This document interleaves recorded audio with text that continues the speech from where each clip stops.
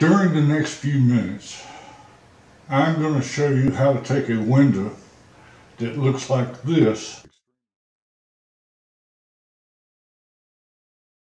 and turn it into a window that looks like this in uh, step-by-step -step detail. Before we get started, we need to explain what insulated glass is. Glass can either be single or double strength or a combination. The spacer. Some windows use foam spacers with desiccant, but for my windows we will be using the aluminum spacers filled with new desiccant. The desiccant.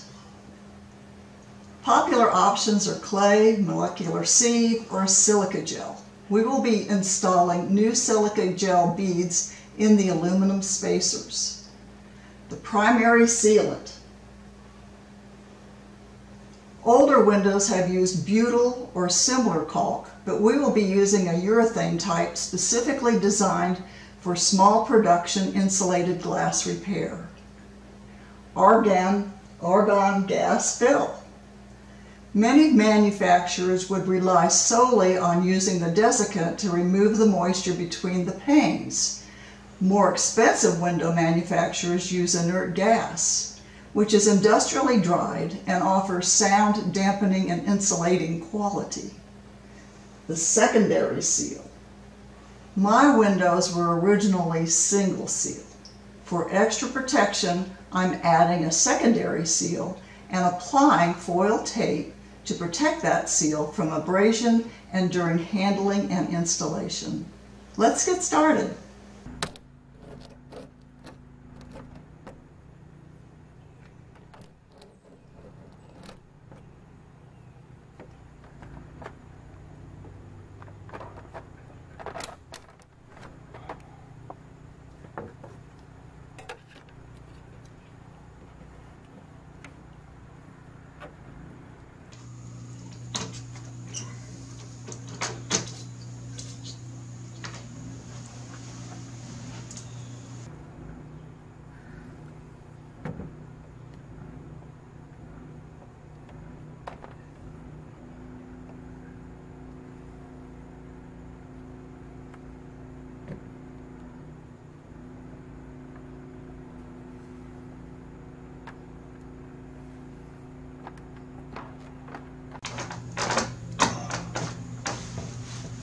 All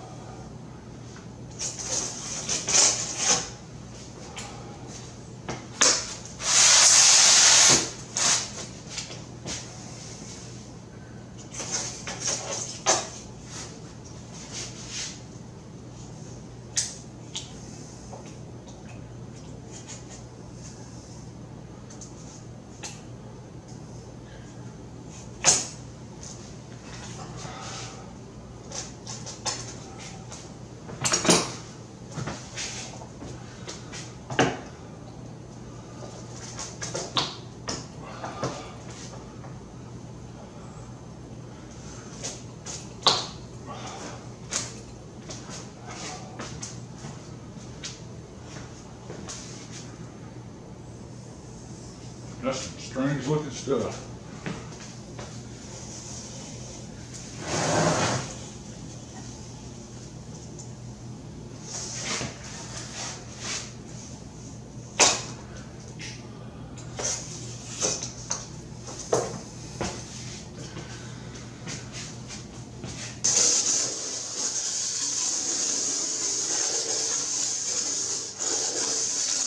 I think this glass should be replaced. What do you Yes, I think? think so. Let's see what we can do with the other one. We just Looks thought, like it's etched in there. that is etched in, it's just not worth buffing.